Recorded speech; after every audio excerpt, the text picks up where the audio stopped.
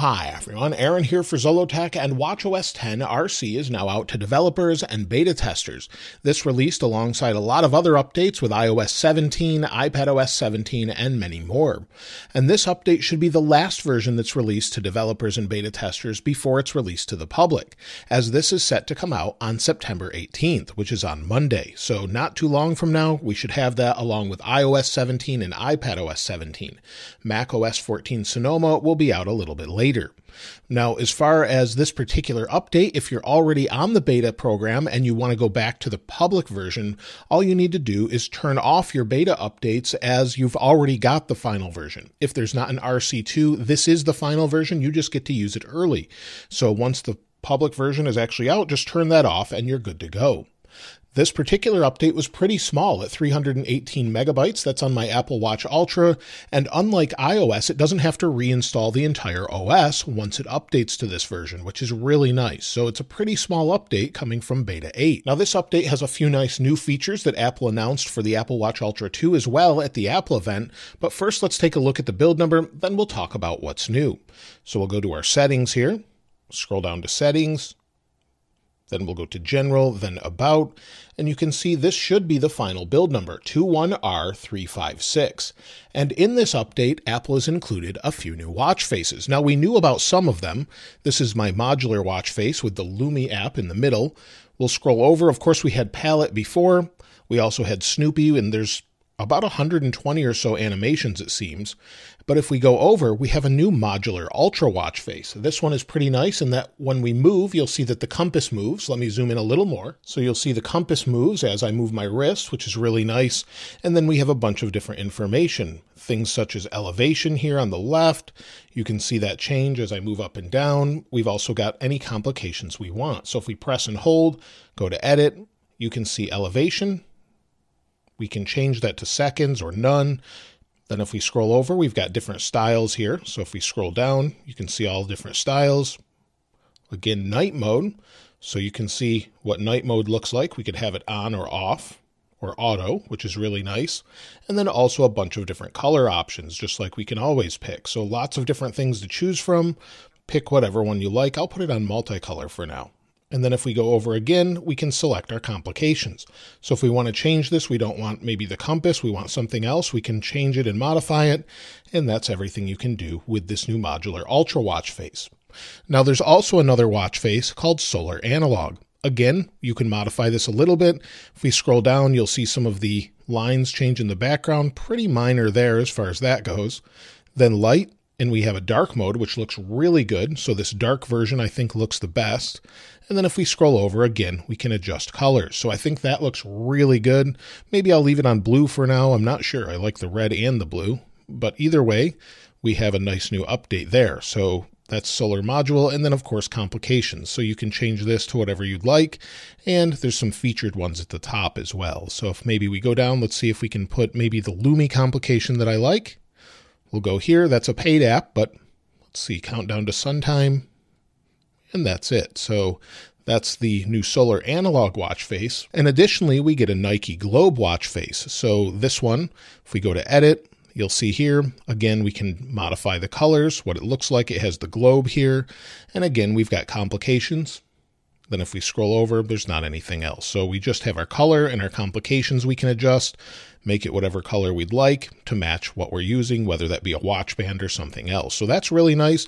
This goes along with the new updated Apple Watch Series 9, Apple Watch Ultra 2.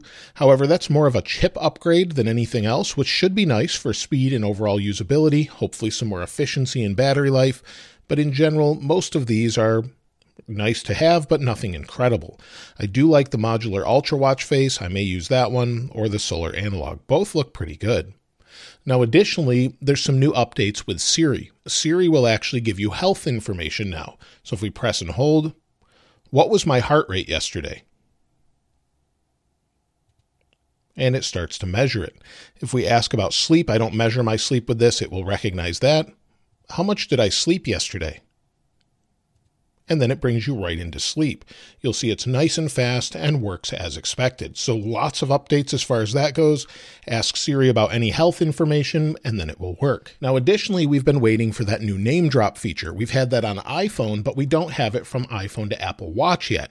In fact, if you go to Apple's WatchOS 10 webpage and scroll down to name drop, it tells you what it is. It says easily share your contact information with a new friend. Just tap on my card complication and bring the Apple Watch face to their Apple Watch. So you'll see, or to face their Apple Watch, you'll see it has a little number two there. If we scroll all the way to the bottom, number two says available on Apple Watch Series 7 or later, Apple Watch SE second generation, and Ultra models in an update later this year. So maybe WatchOS 10.1 or something else, but Apple has not released it with WatchOS 10. We thought maybe they'd update it, but so far it looks like it's coming later on. Now, as far as if you should install WatchOS 10, well, you definitely can at this point. Just be aware that you cannot downgrade on your own. You would have to bring it to Apple to have them install WatchOS 9.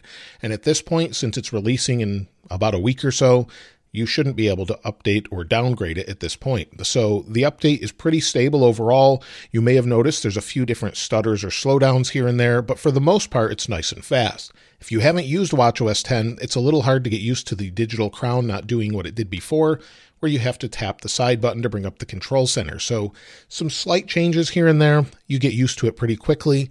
Unfortunately, switching to dark mode is automatic on the Ultra watch faces.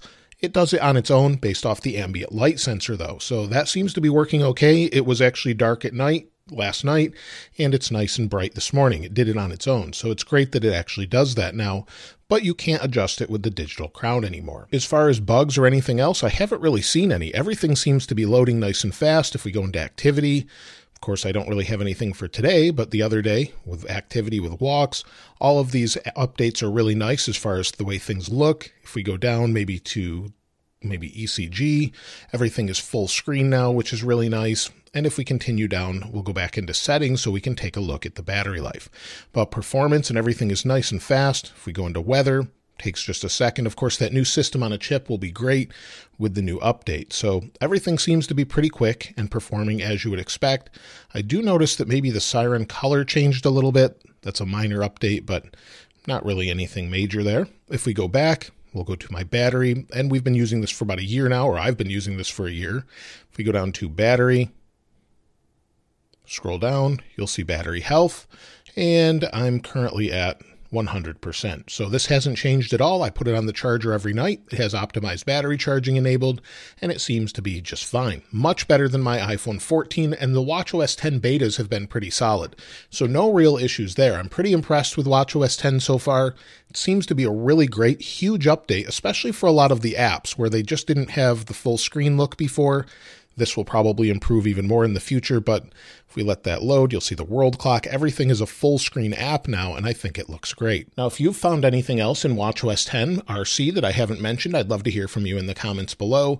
And of course, I'll link this wallpaper in the description like I normally do. It's sort of an updated version of what we have with iPhone 15 wallpapers. If you haven't subscribed already, though, please subscribe. And if you enjoyed the video, please give it a like.